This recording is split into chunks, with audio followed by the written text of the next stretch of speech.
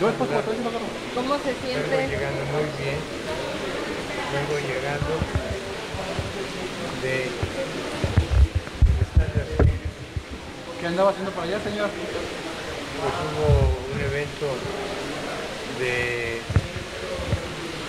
de un programa en el que estoy. Y entonces, pero afortunadamente tu- tuvimos la suerte de venirnos por ru- rutas. Sí, se alternan para llegar a tiempo. Sí, que no, no nos estorbaron.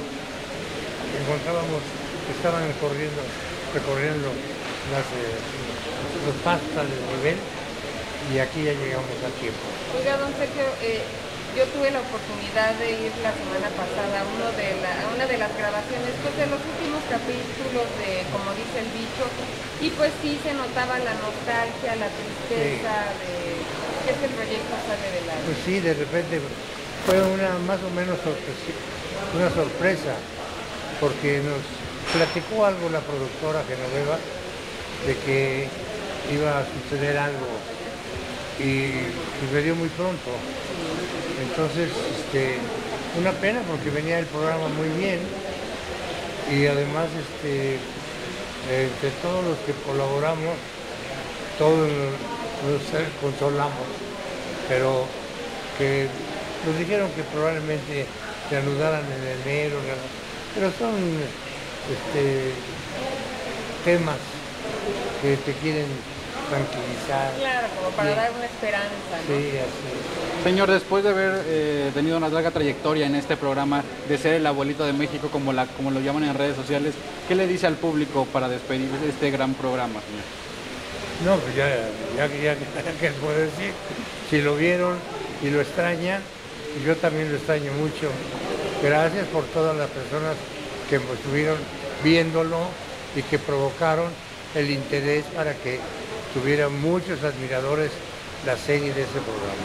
Señor, usted ha sido una persona muy activa, le preocupa el pues no encontrar un trabajo pronto. Por ejemplo, don Eric del Castillo dice que a él sí le preocupa que cada vez más le llaman a los actores, a los primeros actores ya de edad, pues para darles trabajo, ¿no? Ya lo- los van olvidando poco a poco. Mira, la verdad ahorita vengo de una actividad, de un trabajo que fue por allá por, eh, por eh, donde fue de la última, ya llegando a donde está el restaurante de Mohamed. y, y estuvimos desde las 9 de la mañana hasta las seis y media que nos tocaron. Pero llegué a tiempo afortunadamente. Sergio, en esta parte y sobre todo con, con este tipo de reconocimientos, ¿cómo le gustaría a Sergio Corona ser recordado? Que, que el público al momento de escuchar el nombre de Sergio Corona se le venga. No, no, no. Mi vanidad no llega tanto. Porque sí, claro, quiero mucho lo que hago y espero que guste lo que hago. Pero no, no, que me recuerde. Cada quien tiene gustos diferentes o sim- similares. Y si en eso está algo de afecto, bienvenido. Perfecto, que se ha ganado con trabajo. ¿no? No, no lo califico así. ¿eh? Es una actividad que tengo en la vida, pero no lo considero trabajo. Es una actividad de una profesión, de una personalidad, de una edad, de un ambiente, de maestros, de compañeros, de lugares, de existencia, de cómo está la televisión en la actualidad. Entonces son varios factores. A todos ellos, muchas gracias. Don Sergio, ahora que hará una pausa. Incluyéndolos a ustedes. ¿eh? Ay, gracias. Ahora que hará una pausa pues, forzada en la televisión, ¿qué le gustaría hacer? ¿Teatro? Eh, ¿Ha pensado en qué se va a ocupar? No, no, pienso en todo, pero además, además no, no estoy, no estoy dirigiéndome a algo, sino me están saliendo este, opciones, proposiciones y todo esto. Yo tengo que regresar porque hoy tuve la grabación de un programa y mañana continúo con un homenaje y unas otras otros eh, tiempos, otros minutos para lo mismo y regreso a donde estuve hoy. ¿Cómo se llama? Fui hoy y ya se me olvidó. Sí, es que son muchas cosas, la Claro. verdad. Pero qué bueno que, que sigue activo, porque así nos gusta verlo. Así, sí.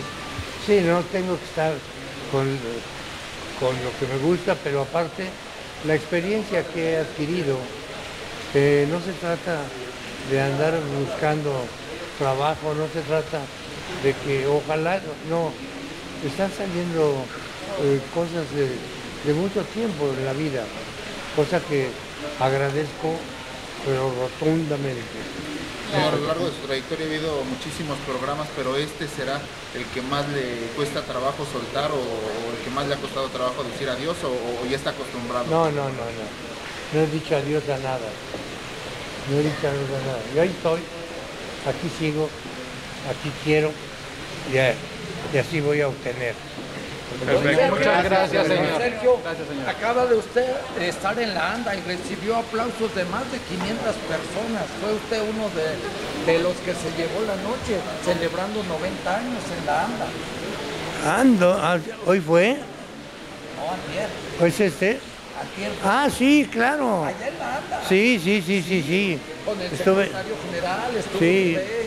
muy emocionado, muy emocionado estuvo mi participación para mí y estar frente al público que había en, la ANDA, que pues yo soy fundador de, de ese sindicato con tantos compañeros, fui secretario de trabajo una temporada cuando López Tarso fue el secretario general y están adquiriendo experiencias que me han servido en la vida. Claro, y recuperaron la acta constitutiva de esos 90 años. Se nombró a todos los que fundaron.